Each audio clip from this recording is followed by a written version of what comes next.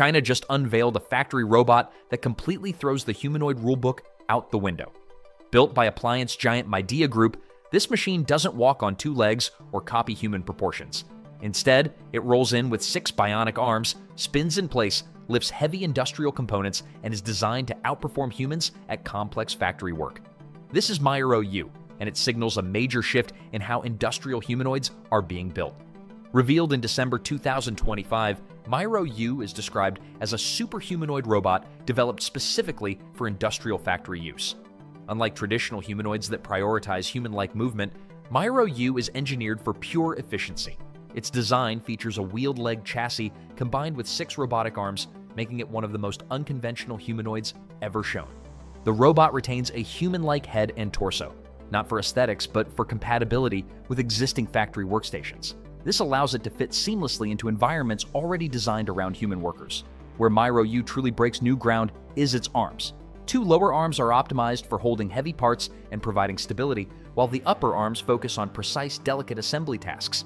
This multi-arm coordination allows the robot to perform several operations simultaneously, something human workers simply cannot do.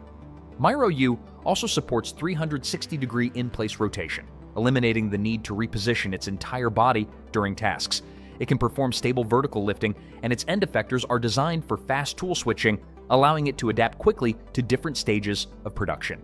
In terms of real world application, MIRO U is built to handle complex production line changeovers in high end manufacturing environments, including washing machine assembly.